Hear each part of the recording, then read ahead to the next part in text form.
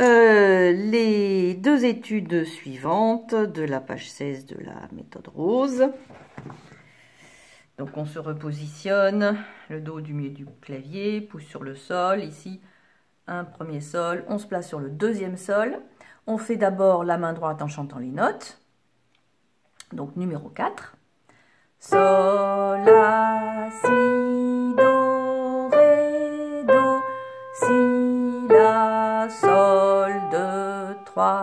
4, Ré, 2, 3, 4, Sol, Si, La, Do, Ré, Si, Do, La, Sol, 2, 3, 4, Ré, 2, 3, 4, Sol, 2, 3, 4.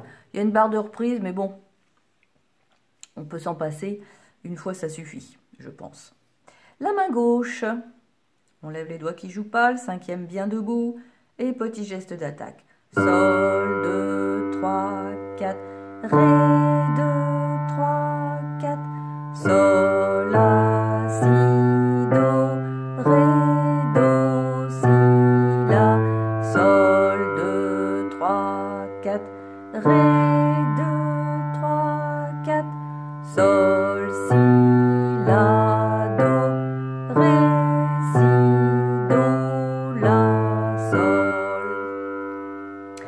deux mains ensemble. On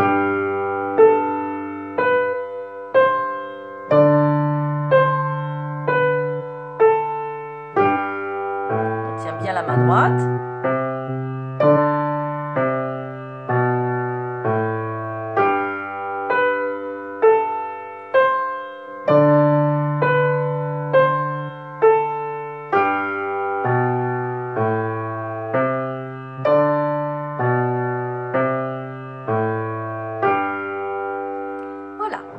Numéro 5, la main droite. Sol, si, la, do, si, sol, si, la, do, si, sol, la, do,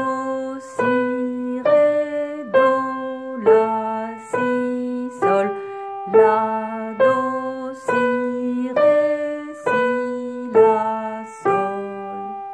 Alors la main gauche, euh, je vais peut-être pas la faire en entier parce que il s'agit de deux notes, le sol et le ré, des blanches et des noires. Donc voilà, c'est euh, on peut le faire tout de suite avec les deux mains ensemble. Par contre, c'est très répétitif. Donc ce qu'on peut faire pour varier les plaisirs, faire, on fait deux mesures forte, deux mesures piano, deux mesures forte, deux mesures piano, parce que sinon c'est franchement ennuyeux. C'est parti du forte.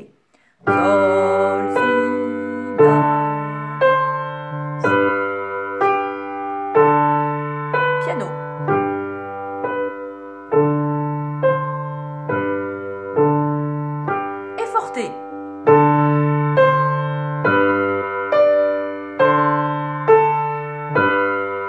Piano.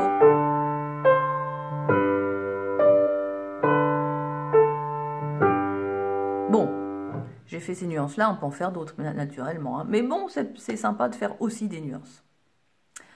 Euh, je continue euh, le numéro 6. Non, je vais faire une autre vidéo.